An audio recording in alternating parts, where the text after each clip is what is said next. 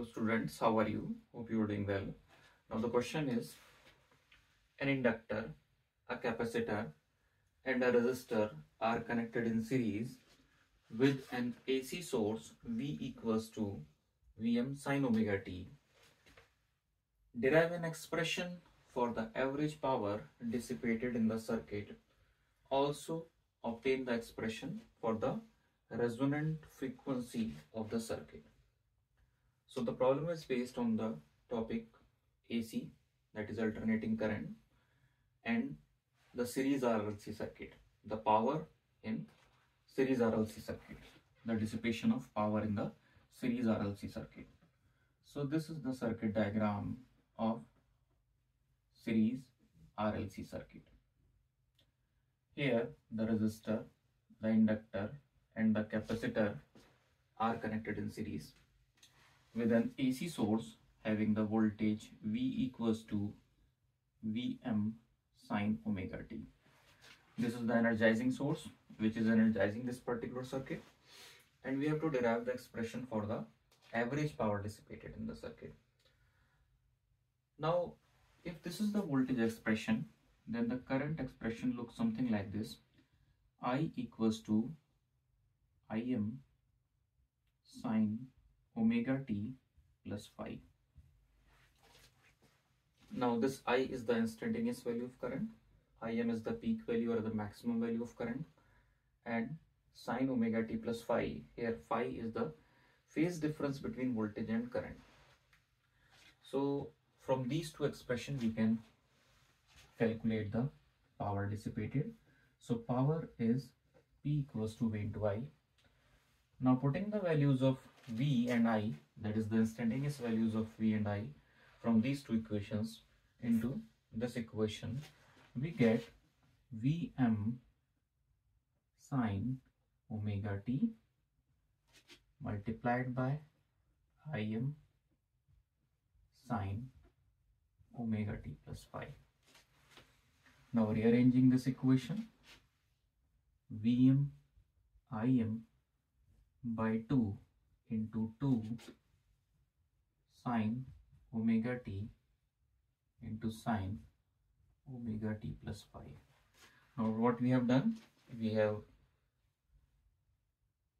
put this particular current term the front side, dividing this expression by 2 and multiplying by 2 so that this become a formula of trigonometry which is 2 sine A sine B is equal to cos A minus B minus cos A plus B. So by using the formula of trigonometry, we get Vm Im by 2 into cos phi minus cos 2 omega t plus phi. So this is the formula, trigonometric formula which we have applied here. Now Vm Im by 2 can be written down as Vm by root 2 into Im by root 2. Now this is the RMS value of voltage and this is the RMS value of current. So we can write it down as Vrms into Irms times cos phi minus cos 2 omega t plus phi. Now the second term here which is cos 2 omega t plus phi for the complete cycle for the complete cycle of AC, this particular term's average value is zero. Suppose we have to calculate the, this is the instantaneous power and we have to calculate suppose the average power. Then for the average power, we have to take the average of the first term as well as the average of second term. So the average of second term is zero because here this is time dependent. So this particular term's average value is zero. So the only term which corresponds to the average value of power is only the first term which is VRMS IRMS into cos phi. So this is the expression for the average power dissipated where VRMS is Vm by root 2 and IRMS is Im by root 2. So this is the derivation of the first part of the problem. For the second part of the problem, we have to find out the resonant frequency.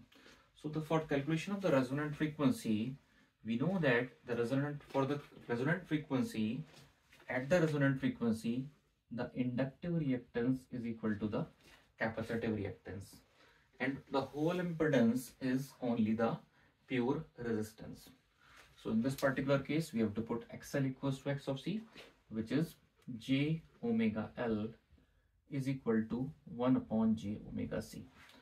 Uh, here, from after calculating it, we get the value as omega square is equal to 1 over LC or we can write it down as omega is equal to 1 upon square root LC.